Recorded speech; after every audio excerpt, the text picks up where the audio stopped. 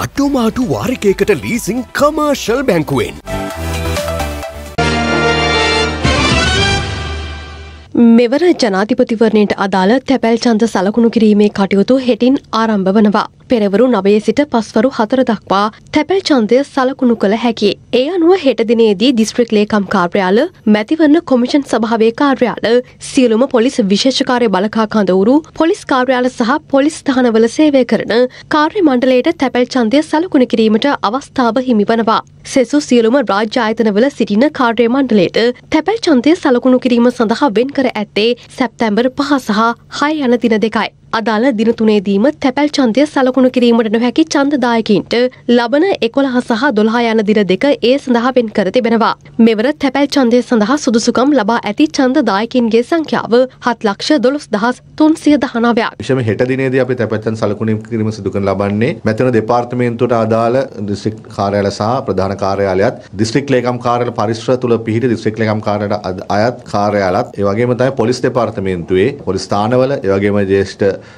Police අධිකාරුන්ගේ කාර්යාල නියෝජ්‍ය පොලිස්පතිවරුන්ගේ කාර්යාල විවිධ පොලිස් නිල ඇඳුම්ධාරීන් සහ ඔවුන් සිවිල් අය ඉන්න ඒ ස්ථානවල තමයි හෙට දිනේදී ඡන්දය සලකුණු කිරීම සිදු කරන ලබන්නේ. ඒ වගේම පහ සහ හය කියන දෙදින තුලදී අනිකුත් සියලුම රාජ්‍ය ආයතනවල උන්ගේ තැපැල් ඡන්ද සලකුණු කිරීමේ කටයුතු සිදු කර සැලසුම් කළා තියෙන සියලුම දෙනා පොඩි වේතිරේකයක් තියෙනවා මෙතෙන්දී හෙට දිනේදී ප්‍රධාන අපේක්ෂකයන්ගේ ප්‍රධාන මහජන හමු පවත්වන දිස්ත්‍රික් වලට අදාළව එම දිස්ත්‍රික් වල පොලිස් දෙපාර්තමේන්තුවට අදාළ තැපැල් ඡන්ද සලකුණු කිරීම 6 වෙනිදා දිනට තමයි යොදාගෙන තියෙන්නේ. අපි දැනුමෙන් සන්නද්ධව පෝසත් රටක් ගොඩනගමු. DP Education.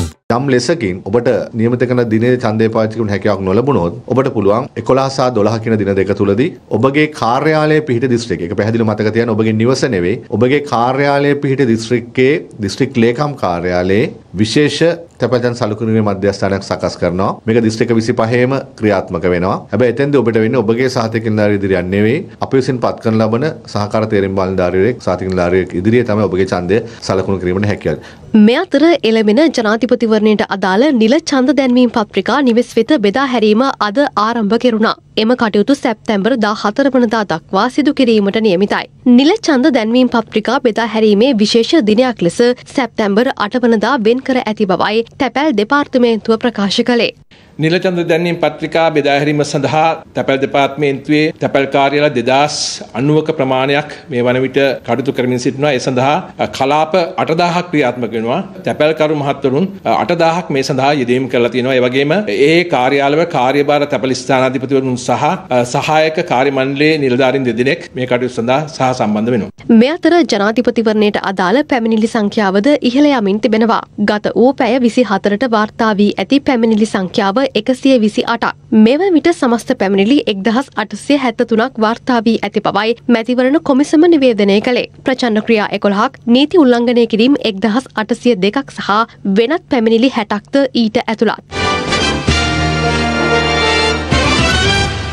රටේ ලෝකෙ සිදුවන උණුසුම් පුව දැනගන්න සියත නිවස් YouTube channel එක අදම subscribe කරන්න.